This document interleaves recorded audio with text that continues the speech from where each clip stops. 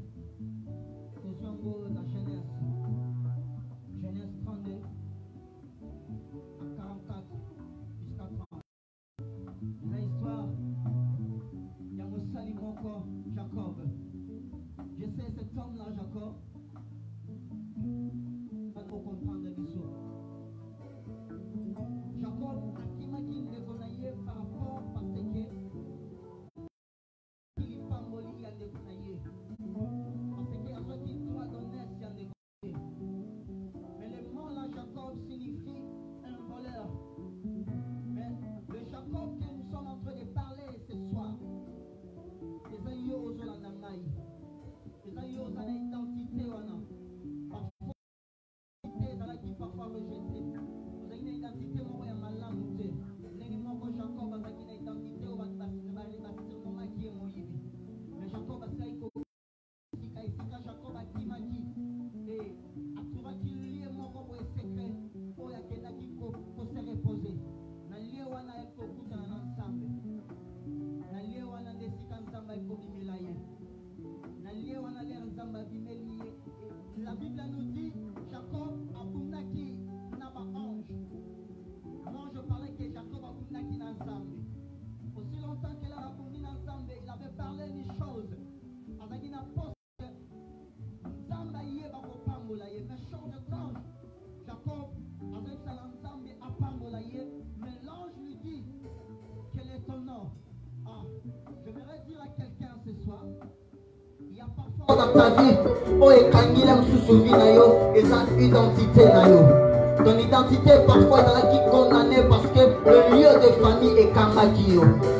de même que Jacob aussi, à cause ya combo à l'attaque à Jacob wana. Et la, la raison pour laquelle son frère tout, parce que son frère cherchait beaucoup plus à Luka Jacob pour aller dans le lémi mimi en bourraillé. Mais Zambe oyo atika mapana na yete, Zambe oyo alandaka bato tina ba identité. losika jacob akendaki akutanaki na nzambe ester asomala on parle de dieu de face à face Et le lien oyo Jacob azalaki ayaki kosirnema ngo na nkombo ya Peniel. Le lien wana Peniel c'est la raison pour laquelle Nzambe ayaki kobenir Jacob alongolaki nkombo na ye na nkombo ya Jacob apesi yango nkombo Israël. Nkombo Israël sini l'éternel.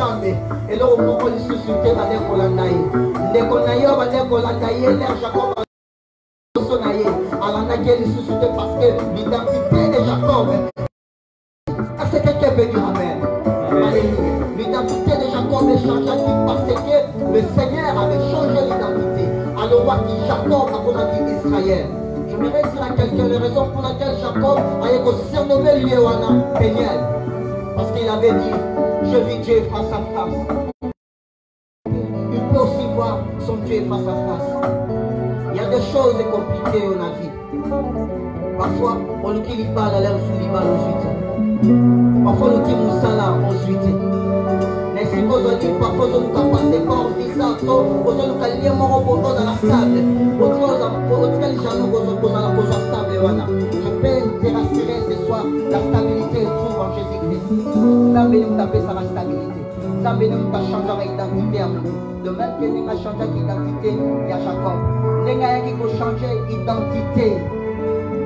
ya mokufi koluka kokutana na nzambe nzambe akoluka komimonisa na baoyo balukaka ye alleluia est ce que nous pouvons prier un peu